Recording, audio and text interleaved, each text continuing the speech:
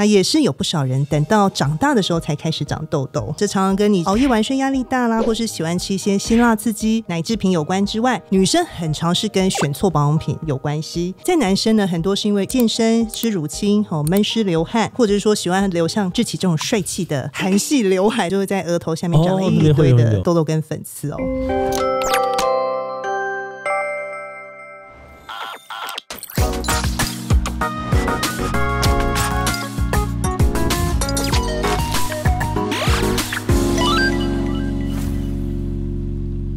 Hello，大家好，我是志奇，欢迎回到我们的好奇七七。那今天青蛙养羊，羊会跟我们一起来聊聊。Hello，大家好，我是杨洋。那我们观众呢，有蛮大比例都还是学生哦，所以我每次在开这个问答的时候呢，都有超多的观众问我皮肤是怎么保养的，以及呢跟我分享他们青春痘的困扰。但是遇到这些问题的时候，我其实不太知道要怎么回答，因为我就真的不知道。所以今天呢，特别邀请到的是真心皮肤科诊所的周婉仪院长来我们解答这些平常搜集到的一些疑难杂症。Hello，大家好，我是真心皮肤科诊所院长周婉仪医师。我们有很多的观众，他们都在青春期，所以会遇到很多青春痘的困扰。但是有些父母呢，也会跟他们说，呃，这是青春期一定会遇到的，等青春期。过了就会好了，这样的说法是正确的吗？那其实呢，每一个年龄层它都有可能会长痘痘，就算是小 baby，它也会长痘痘哦。小 baby 的痘痘通常是跟妈妈的胎盘来的荷尔蒙有关系，但是痘痘长最大宗其实是在青春期，那因为荷尔蒙的关系，还有他们这个年纪喜欢运动啊、流汗、晒太阳，所以这个族群的比例是最高的。但是呢，在我们最近门诊，其实很多小朋友会长痘痘。目前我们门诊最小的年纪其实七岁，太小年纪长痘痘要小心有没有性早熟的问题哦。那也是真有不少人。等到长大的时候才开始长痘痘，这常常跟你熬夜晚睡压力大啦，或是喜欢吃一些辛辣刺激奶制品有关之外，女生很常是跟选错保养品有关系。像女生有些上妆，他们会使用一些粉底液啊，然后卸妆时要用卸妆油。如果卸妆油乳化不完全的时候呢，其实就很容易塞毛孔，造成这些痘痘粉刺的状况，我们叫做化妆品痘。在男生呢，很多是因为运动，像健身、吃乳清、哦闷湿流汗，或者是说喜欢留像志奇这种帅气的韩系刘海，这种比较厚重的。其实就会在额头下面长了一堆的，对对对，痘痘跟粉刺哦。为什么留刘海这下面都会长？因为这边就容易闷湿，而且大家会喷发雕啊，有些护发润发的东西，在不同位置的痘痘它有不同的意义。在粉刺期其实就会留下痘疤，留下痘疤就真的是伤心也伤荷包。所以大家如果有痘痘粉刺的时候呢，真的是要赶快来看皮肤科哦。但我就是很好奇，因为爸爸妈妈有时候就会说，啊，你这个很正常啦，你就等一下就会自然消了。就是我们要怎么判断说，我现在这个痘痘它是真的能够。不理它就可以的，还是应该要去找医生？是是是，那其实痘痘有分成不同的严重度。如果你今天只是轻微的长粉刺，你可以先从正确的洗脸开始哦。其实国小一年级开始，你就要开始用温和的洗面乳来洗你的 T 字部位。很多小朋友其实没有在洗脸的哦。但你看我们现在空屋啊，然后青春期其实来的都比我们这个年代还要来得早。加上他们平常会在那边跑跑跳跳，会有一些脏污的部分。如果你又不洗脸，加上你的油脂分泌比较多的时候，就会开始出油跟长痘哦。当你到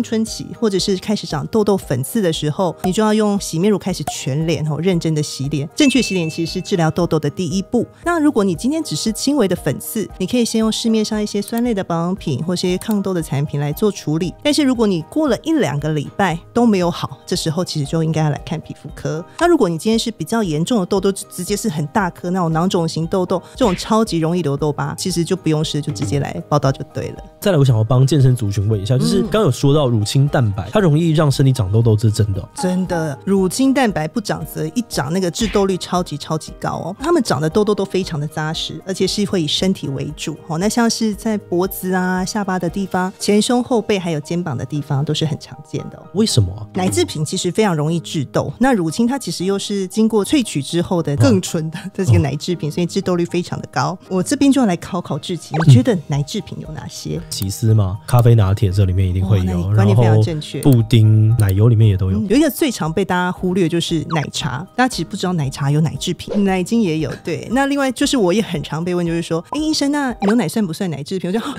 当然算奶制品。那像一些优格、cheese 啊，哎，这些其实都是我们很常见，但是很容易会被忽略的奶制品的系列。那很有趣，就是说在牛奶里面呢，脱脂牛奶它的致痘率会高于这个低脂牛奶，里面相对比较不容易致痘的反而是全脂牛奶。哦，这个好特别，为什么？啊。对对一般大家都会觉得说跟脂肪有关，对，那其实研究里面他们发现，哎，其实跟脂肪无关，但是目前详细的机转还未明啊。那他们认为说，这些奶制品它会让我们人体里面有个叫 IGF 的量上升，那就会让我们的雄性激素变多，就会比较容易长痘痘。但这样会不会让青春期的小朋友感觉很困扰？他想说，我一边想要长高，好像应该喝牛奶，可是我喝了牛奶又会长痘痘，这样该怎么办呢？也不是每个人喝牛奶都会出事啊，嘿，但是你如果喝牛奶就狂长痘痘的话，那就可以喝一下豆浆，但是豆浆要喝无糖豆浆会比较好，对。那再来，我觉得有一点很好奇的是，就是每次在长痘痘的时候，会看一些资讯，就会发现哇，痘痘好多名称哦。哦，是是是，就是有时候会说这个是粉刺，嗯然后还有什么黑头的、白头的，是再来有一些叫痘痘，有一些叫脓包痘，有些叫囊肿痘，是到底有什么不一样呢？粉刺就是没有发炎的痘痘是粉刺，那发炎的粉刺我们就叫做痘痘哦。那粉刺它有分成两种，一个是黑头粉刺，一个是白头粉刺。所谓的黑头粉刺就是说，这个是我们皮肤好了，黑头粉刺它跟我们皮肤表面是有开口的，所以角质碰到这个空气之后，它会氧化，氧化之后看起来就是黑黑的这个颜色。我们在日本他们会说角栓的这个东西，其实就是黑头粉刺。但白头粉刺不一样哦，它离我们皮肤的表面比较远，不会有氧化这个状况，所以它看起来是白白的一颗，但是它位置比较深，所以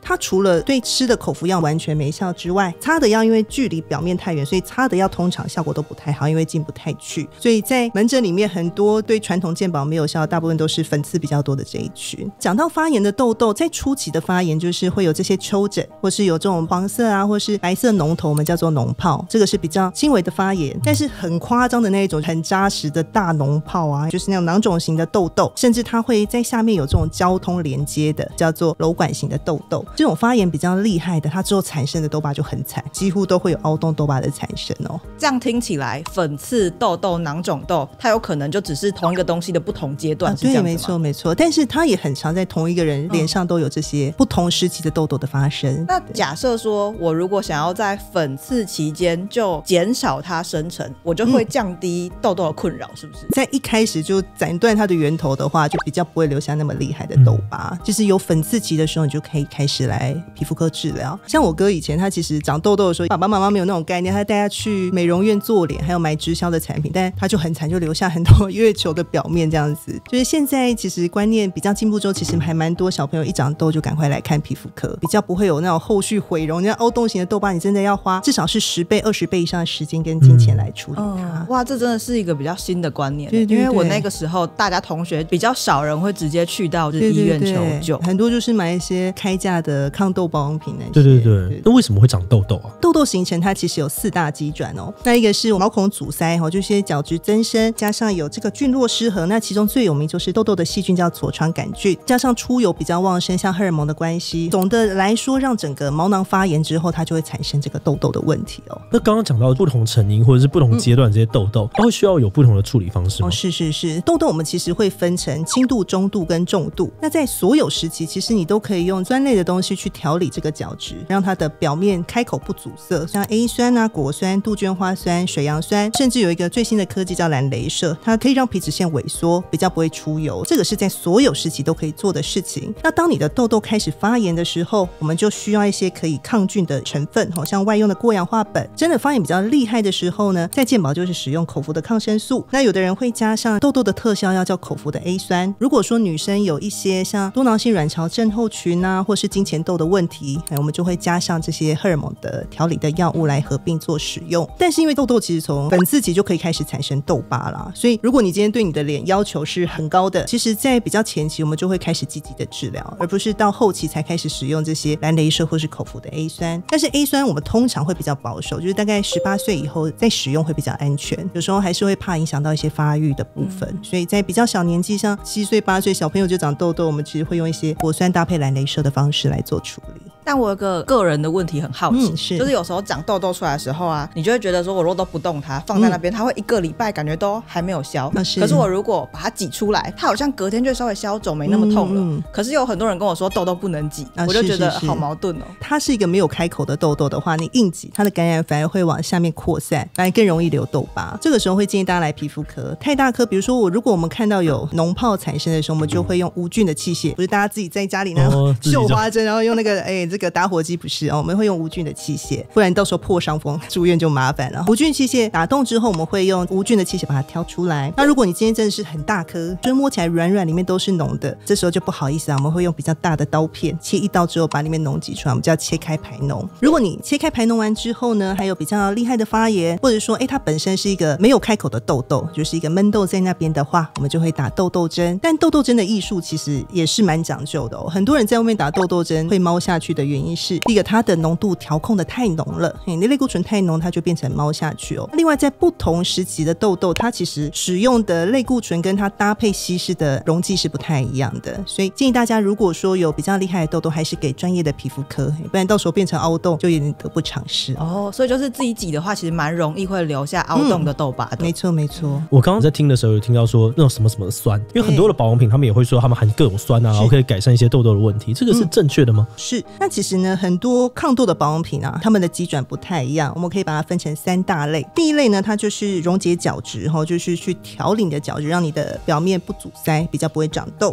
第二类是抗发炎的产品，让它比较不会有发炎的这个状况。最后一类是抗菌或抑菌的成分，但是它长期使用有的会有一些抗药性的疑虑。像我们的含酸的保养品，它就是在第一类，就是溶解角质的部分。最常见就是像水杨酸呐、果酸，还有 A 酸的衍生物是最常见的。哪些人不太能使用这些含酸类的保养品？嘿就是本身是比较敏感的皮肤，或是有玫瑰斑，还是你脸本身就比较干，或是有湿疹的状况，这时候就不是那么适合直接选用这些含酸类的保养品。那刚刚还有很多网络上面的资料都有特别说 A 酸是一个美肤救星，很想要知道为什么 A 酸好像是很多皮肤科医生在治疗痘痘的时候都一定会使用的东西。哦，对，那 A 酸其实是我们在治疗痘痘粉丝非常非常重要的武器哦。它除了可以溶解角质之外，它也可以降低我们使用抗生素会产生的这个抗药性，它可以改善肤质、淡化色素，甚至有抗老除皱的效果。但是呢，很多人以为擦 A 酸擦久皮肤会变薄，其实并不会。老废角质代谢之后，当你使用一阵子之后呢，你甚至还可以增加角质层的厚度，反正你的角质层会更健康。这个是一个还蛮常见的迷思啊。最近我还听到另外一个是 A 醇，A 醇跟 A 酸的差异是什么？然后使用上有什么差别？嗯，A 醇呢，它其实是保养品啊，顾名思义就是比较温和，可进性比较高。你在药局啊、百货公司啊或是专柜其实就买得到，但是相对它效果比较弱。那 A 酸的话，它其实就是皮肤科医师才能开立的药物，顾名思义就是哎效果比较好，但是它相对刺激性也会比较高。所以皮肤科的医师在开立的时候都会教大家说，哎你要怎么使用，还有一些注意事项哦。一般来说呢，在 A 酸家族的这些保养品啊，最常见就是 A 酯。